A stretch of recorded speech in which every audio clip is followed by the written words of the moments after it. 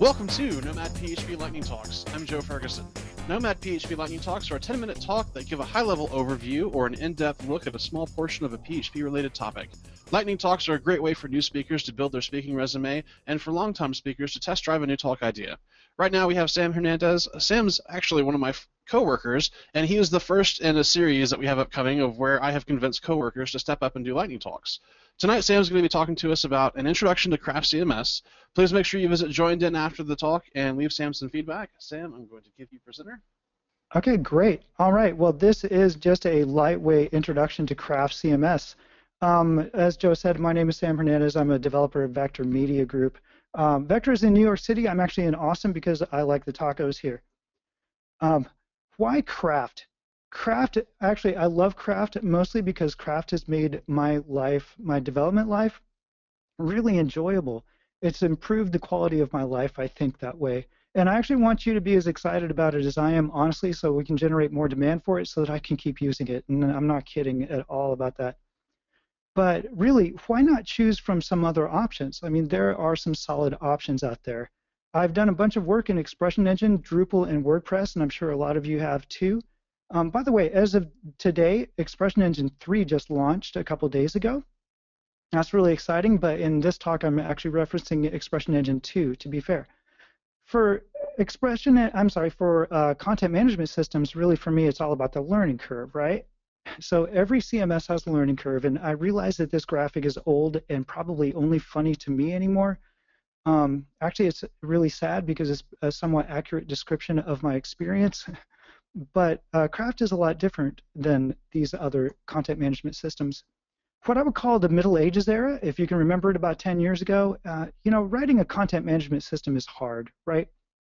And 10 years ago, it wasn't as easy. You had to write everything from the ground up. So a lot of systems that were developed or born at that time were built from the ground up. And they tend to have non-standard APIs, and they tend to have quirks. And if you've ever played with the Drupal render pipeline, you know what that quirk is. Expression Engine has a lovely template language, but it has the parse order issues every once in a while to overcome. And WordPress, honestly, I love WordPress. I'm not going to lie. It is my big favorite quirk. It's just one big quirk. But nowadays, uh, what I would call the PHP Renaissance era, we expect applications to be built with familiar components. There are already some great PHP frameworks out there to choose from, and some proven template em- engines. And modern applications make every effort to provide predictable APIs to use, and you don't have to reinvent the wheel anymore because there's a lot of uh, really nice PHP components out there to pick from already. So Craft was born on the cusp of the PHP renaissance, I like to say. It's really just a PHP application that's built on familiar components. So it's built on the Yii PHP framework. It uses the Twig template engine, which is a Symfony package. So that lets Craft focus on being the best application it can be by letting the other maintainers manage those core components. Users absolutely love it, and developers love it too. All you have to do is Google, and you'll find a lot of love for Craft. Um, one of our clients at Vector is Associated Press, and we ported over a couple of their smaller properties to Craft. And I was on a phone call with them just the other day, and they interrupted the phone call just to say again how much they appreciate and love the craft experience. It's a fantastic publishing platform. Craft is a commercial product, but it is free for personal use. It has a limited feature set, but don't be fooled by that.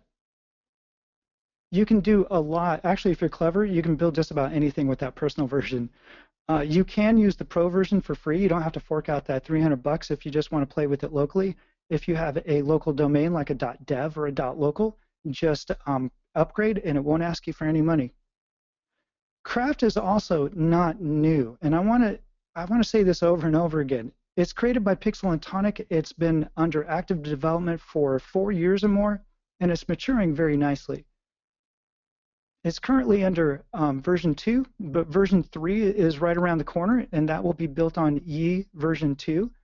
And I hear that there's going to be a plugin store where you can purchase plugins right from the dashboard. So if you're a PHP developer, I can't see any better reason than to get into Craft than that. I mean, that's going to be great.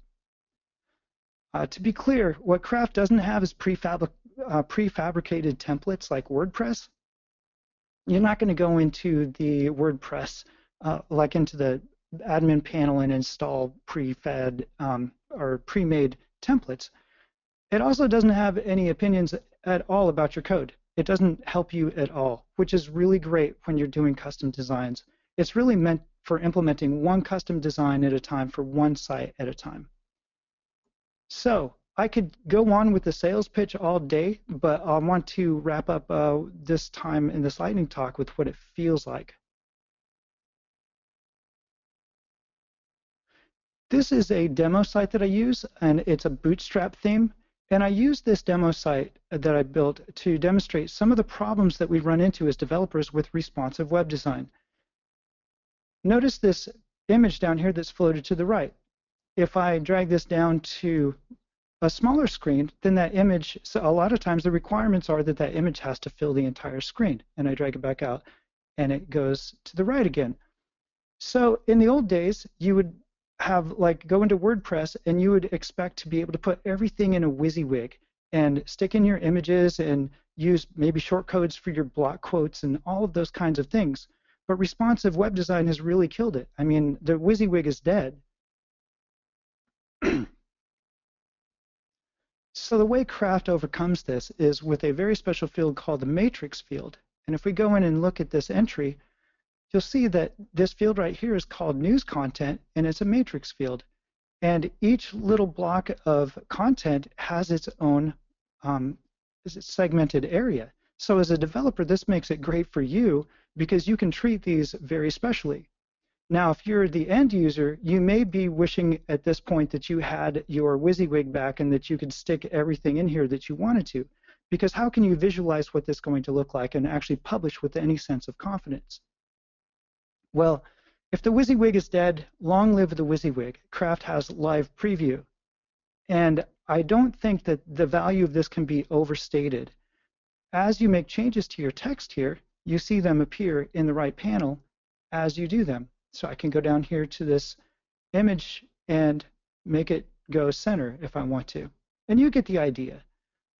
I can go down here and I can add more blocks of text and it just magically appears. And then when I'm, I can also change the source order. What's really cool is if you have really nice looking components here, your user feels like they have a ton of control over the design.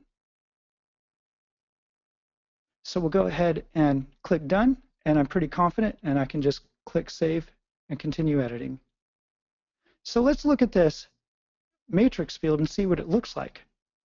Here's our matrix field, and it has all these blocks with and each of those blocks have those fields on them as well.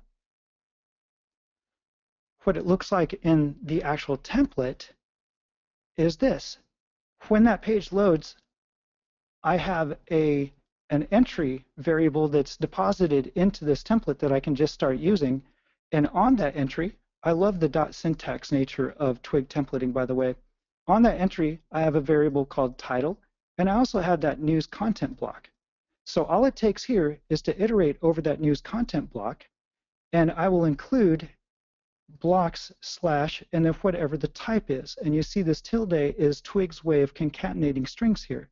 So the first time through, if it's text, it's going to load blocks text right there.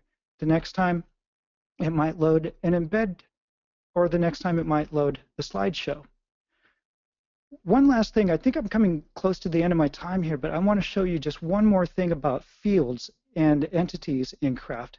If you notice, keep this in mind. This caption for the slideshow is coming off of the image, not the entry. We'll go back to the admin panel, and first of all, look at how the news channel was set up. As you create your fields, you can add them to the field layout just by dragging and dropping. It's that simple. If you like, you can add a new tab and drag those over there. That is really handy. But not only can you add fields to things like entries, you can also add them to assets or users. So here's my asset settings, and here's the upload destination for those images. But notice I have a field layout here as well. So I can add as many fields to those captions or to those images as I want to. And the way that plays out in the administration panel is that your user can go right here and double click on this photo and that caption image or that caption field shows up right there and they can just edit it and now that caption will go uh, travel with that photo wherever it appears in the um, on the site. And I think that's pretty brilliant. So that's really um, all I have. I know this is an abrupt ending, but I'm leaving it abrupt on purpose because I want you to be uh, very curious about craft and I want you to go check it out. So um, that's pretty much it, Joe. Um, thanks for listening. Catch me on Twitter um, or in the Craft Slack channel if you drop in there. Awesome. Thanks for joining us for another Nomad PHP Lightning Talk. If you'd like to give a Lightning Talk, please email joe at nomadphp.com. Please make sure you visit Joind.in and leave Sam some feedback.